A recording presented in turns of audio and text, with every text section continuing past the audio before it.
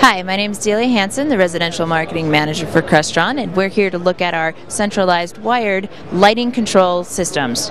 So let's take a look at this new Eaton breaker box that's incorporated into a CAEN enclosure. With this, you can see the breakers up top connected right to our dimming modules. What's great about this is that the electrician doesn't have to worry about setting up a separate breaker box and connecting up all the wiring. It's all in one enclosed unit.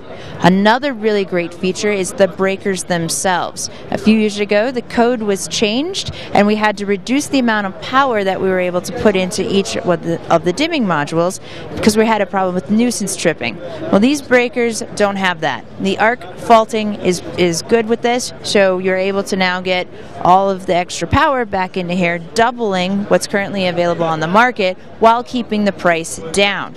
Another additional feature on these breakers is intelligence. There's a code on the front that'll actually tell you why it it tripped if you do get a trip, and you just check each of the different colors, and you're able to know exactly what's going on in the home.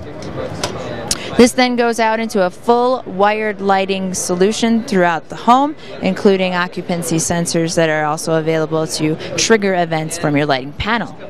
The second option we have is the DIN rail enclosure. So now we have our dimmers, our switches, and even our control processor available in a DIN rail mount option.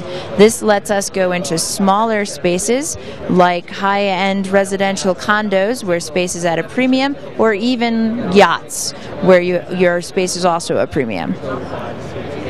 So we're very happy to have these two different types uh, on display here. For more information, please go to www.crestron.com.